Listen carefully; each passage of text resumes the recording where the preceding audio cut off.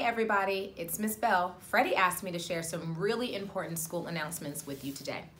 If you would like to pre-order school lunch for pickup next week, please use the link that was sent in your email. Also, keep in mind that the data on the MiFi devices is limited, and if you use it for anything other than schoolwork, you may run out of data. Our devices, the Chromebooks and MiFis, are only to be used for schoolwork related activities. It's important that in addition to logging on to school's PLP every school day, that you also check your student email every school day. If school's PLP goes down, we will use email to communicate with you and send information about assignments. Also, we know that you've had a lot of difficulty getting to us through on the phone, but we've made some changes and we hope that it will make our phone communication that much easier. The new phone options will allow you to connect directly with staff members who can help you with technical support, logins, health information, and scheduling. Hello Sparkman Middle family, here are some athletic announcements. On Tuesday, August 25th, volleyball will play home versus Discovery. On Thursday, August 27th, football will be at Meridianville. On Thursday, August 27th, volleyball will be at Buckhorn. We welcome all of our students and families to attend these sporting events. While attending these events, we ask that you adhere to the guidelines set forth by the Alabama High School Athletic Association. Spectators are allowed to attend athletic events, but attendance will be significantly reduced. Spectators are not to congregate within six feet of a person from another household, except to the extent necessary. Spectators must wear a mask or other facial covering that covers the nostrils and mouth at all times while within six feet of the person from another household. Also, in accordance with AHSAA guidelines, we will only be able to sell half capacity on game tickets. They will be sold on a first come, first served basis until the set number of tickets is sold. And a few reminders about remote learning. Unlike our remote learning last spring, grades will be recorded. Students are required to log in and complete work every school day.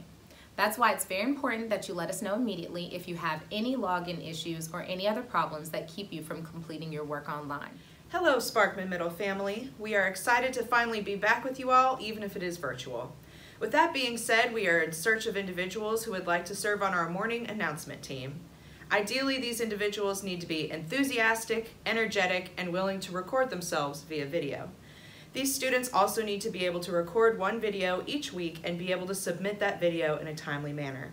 If you are interested in joining our virtual morning announcement team, please email Coach McAnally at cmcanally at mcssk12.org. Please include your name, grade, and an explanation of why you would like to be selected for our team. Let's grow Cougars! Thank you so much for being patient with us this week as we work through our technical difficulties. You've been amazing.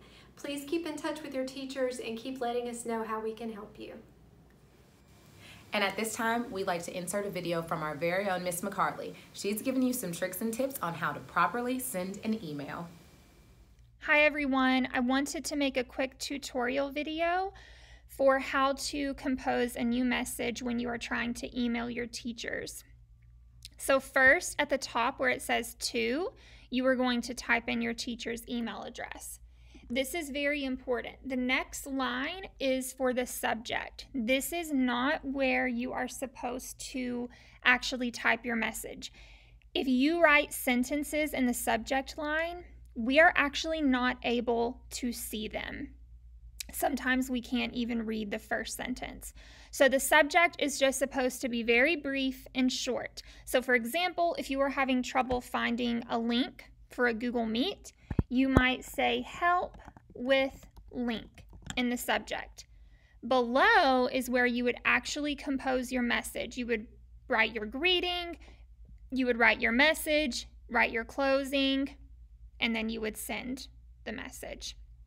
So just be sure to keep the subject line very short and brief, and you will be good to go.